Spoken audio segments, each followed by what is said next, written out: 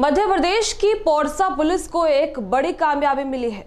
Police ने दो शातिर आरोपियों को गिरफ़्तार करने में सफलता हासिल की है। पकड़े गए आरोपी बड़े ही शातिराना तरीके से लूटपाट की घटनाओं को अंजाम दिया करते थे। सर ये जो अपराधी हैं कि किस प्रकरण में और कैसे है? तो जानकारी दें। आ, पिछले वर्ष जुलाई 2018 में एक नकबजनी की बड़ी वारदात ग्राम कोखरी में रिपोर्ट पर प्रकरण पंजीकृत किया गया चार सौ सत्तावन तीन सौ अस्सी आई पी सी तहत जिसमें लगातार प्रयास जारी था, पता रसी का।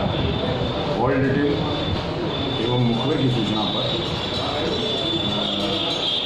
दो दिन पूर्व आरोपी गोप सिंह गुर्जर, निवासी गोरमी और आरोपी नरेश बरगटा, निवासी खिल्ली, थाना गोरमी को गिरफ़्तार किया।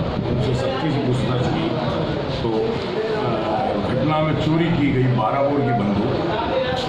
जिसकी कीमत करीबन अस्सी हज़ार रुपये है। एवं सोने चांदी के जेवर करीबन कीमती चालीस हज़ार रुपये अ, के जब्त किए अच्छा जो बंदूक जो इनसे बरामद की गई है वो क्या लाइसेंसी बंदूक है? हाँ वो लाइसेंसी बंदूक। वो किसके नाम से है? आ, वो फरियादी के नाम से है। फरियादी ग्राम कोकतरी के रहने वाले हैं। और लल्लू सिंह तोमर। अच्छा लल्लू सिंह तोमर की बंदूक।